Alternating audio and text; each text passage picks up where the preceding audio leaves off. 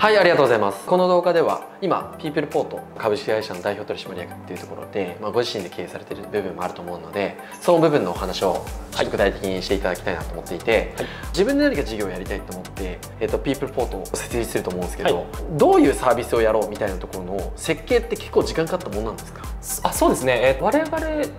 ボータレスとしては、うん、ソーシャルコンセプトっていうものとビジネスコンセプトの2つを作るんですね、はいはい、ある意味ビジネスコンセプトっていうのがもうビジネスプラン。です、うんうん、ただその前に、はい、誰のどんな課題をどうしたいのかっていうところがやっぱ必要、うん、なるほど、はい、そのソーシャルコンセプトから含めて34か月かかりましたね。あそうなんですね、なるほど。これピープルポートってえっと、基本的にはボーダレスのアンダーみたいな感じになるんですあそうです。ねあの100%子会社という、はい、じゃあそういった形でピープルポート立ち上げたと思うんですけど、はい、どういう会社なのかみたいなところ。聞きたいなと思っていて、はい、そこをお聞きしてもいいですか？パソコンの再生をしている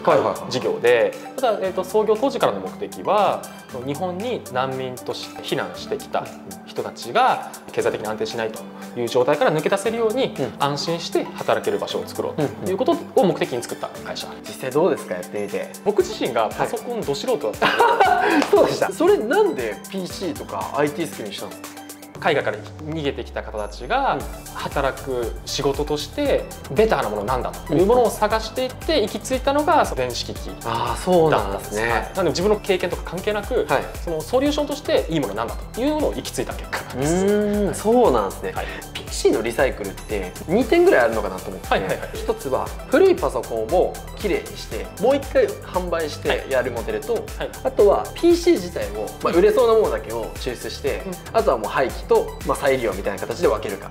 の2つかなと思ってたんですけどどっちをされてらっしゃったんですか、最初は後者で始めてました、はい、ある意味、えっと、リサイクル、ね、あそう企業様個人の方で使い終わったパソコンをお引き取りしてきて、はい、である意味本当分解します、で部品ごとに分けるとそれぞれの部品でも金属資源が金銀銅レアメタル、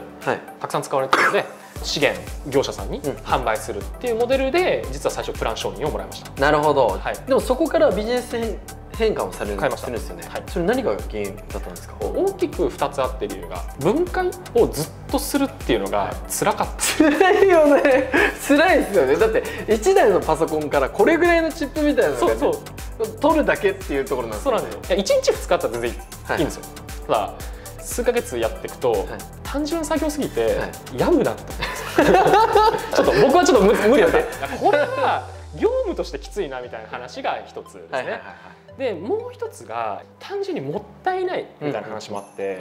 プラン段階だと基本的にもうみんないらないっていうパソコン引き取ってきてるんで、はい、もう9割9分動かないとか壊れてるものだろうと。実際集め出してみたら3割ぐらいはまだ全然動くものが来たんですね。まあ、企業さんだと例えばもう3年とか5年ってもう期間決めてそこで何かあっても入れ替えるみたいなそこでの引き取りが多かった。あもうもったいなかったんで。なるほど。じゃあその2点からとリサイクルっていうよりリユースみたいな形に変えたんですね、ね、はい。なるほど。難民の方を雇用するっていう話だったじゃないですか、はい。はい、その難民の方っていうのはどういうふうに募集をかけてるんですか？基本的にはその難民の方たちを支援されてる NPO 団体様にご紹介いただいて、そこからやっぱり集まった方たちを面接して、で採用という流れその時にはもちろん IT の知見ないですよっていう方もいらっしゃるじゃないですか。あもう圧倒的にそそういう人が多いですね。でもそういう場合でも全然問題ない。全く関係ないです。あそうなんだ、はい、じゃあもう社内にナレッジ溜まってるんですね。そうですね。最初のタイミングは我々に知識がなかったので、やっぱ詳しい人を取るっていうのは正直ありました。ただ今はもうマニュアルも全部あるし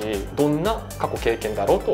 入ってもらって大丈夫。あそうなんですね、はい、難民の方を雇いました、はい、難民の方のこの心境の変化というかどういう形で変化って見られるのかなと思ってて、はい、なんかあります？青山さんから見て。面接に来てもらう時は、うん、やっぱ多くの方がもう今生活に困ってる仕事が見つからないとかコロナの時期もあったんでクビになっちゃったとか、うん、なんとかもう仕事を見つけたい、うんうんうん、こういうことを考えてる会社なので、はい、その全部伝えてるので、はい、まず安心みたいな、うん、でも本当のプライベートのことはまだあんま話さない。あまあ信用できるかどうか本当分かんないじゃないですか。お昼ご飯とかもできるだけ一緒に食べるようにしてるので、はいはい、そういったことをコミュニケーションを重ねていくと、まあ、心を許してくれてじゃあ実は家族こういう問題があるんだみたいなものを、まあ、話してくれるようになっていく、まあ、本当に心の拠り所みたいな感じになってるんじゃないかなとは思ってます。なるほどピープルポートをしていく中で、まあ、いわゆる一番辛かった時期と、はい、一番嬉しかった時期本当に辛かった時期が一番辛かったですか、何回も潰れかけてますお金が本当になくなりそうマジ？すごいですね。ありますし、はい、でもメンタル一番きたのは難民申請中のメンバーがうちを退職するっていう自主退職するみたいな時はきつかったですね。何があったんですか？理由は帰国なんですけど帰国できないから難民申請してるじゃないですか、はいはい、日本での難民認定手続きってえぐいんですよね。えー、そうなんですか、はい。厳しくてそもそも認定されない、はい、かつその初めて国に書類提出してから認められるまでって今平均4年4か月ぐらいえ待ってください。めっちゃ長いですよ。えそしたらその間はどこにいるんですか？なのでみんなサバイバルしてます。ササ マジか。なのでうちで働いてるメンバーの多くはその待ってる間の人です。あそれで帰らないといけないっていう時は基本的にはビザが無理だったえっと、彼の場合はそうではなくてもうこの日本での先の見えない難民認定の生活あと自分の人生を完全に他人に握られてるいわゆる日本政府ですね、はいはい、に握られてるのが許せない。もうストレスになりすぎちゃって許せないっていうのとあとちょっと母国であのご家族が体調崩されてみたいなのがあって、えー、命のリスクあるけど帰るっていう選択をした時にいや僕としては何やってんだろう自分たちみたいな、うんうんうん、こういった人たちが安心できる場所を作ろうと思って会社やって働いてもらってたのにダメだダメだったじゃんみたいなところがやっぱ一番きつかったですね。なるほどですね。自分たちはその難民の雇用提供、雇用創出を生むっていうのを目的にしてるのに、はい、安心できる、うんうん、はい、ところを作ろうと思ったのに何もできてないんじゃないっていう感じ。です。嬉しかったことってあります？一番。嬉しかったことですか？難民認定降りたんですよ。おすごいですね。いやこれは嬉しかったですね、まあ、我々の力じゃ全くないんですけどでも結果が出るまでの間、まあ、我々もサポートできた、はい、でそこでまあ彼女はいい結果が出た、はい、っていうのはすごく嬉しかったし本当に人生変わるってこういうことやなみたいなのを実感した、なるほど。こですね。あそうなんですね。いやでもそれは確かに嬉しいですね。なんか自分ごとのように感じますよね。感じますね、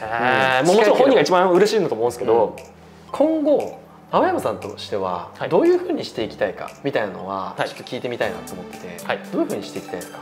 今後？あこれ全部いいんですか、ね、5ステップぐらいですよ。今1なんです、ね、1です、はいはい、1が日本語が話せなくても安心して働ける、はいはい、受け皿を作る。2つ目が難民認定が厳しいですけど、うん、基本的にやっぱ帰れない人たちが来てるんでなんとか日本で安心して入れるようにということで、はい、ビザの切り替えができる業態にすると。はい、それ例えば何なんですか？基本具体的なソフトウェア。あそうですね、はい、プログラミングとかシステム開発とかっていうのがビザの切り替えが、えー、と比較的折りやすいと、はい。まあ、高度の技術として。だから高度化人材みたいな、まあ、それですね、はい、高度人材ですね、はい、が2つ目ですね、はい、で3つ目は例えばその難民認定を受ける IT のスキル身につけてビザを切り替えて両方難しいんですよ、はい、簡単ではないので。でも投資者のことを考えた時に日本って別に唯一の選択肢ではないよね。なるほど、はい、別に日本に来ることが目的ではないよね、はい、危ない母国以外の国で安心して生活できることが本質的に重要だろうという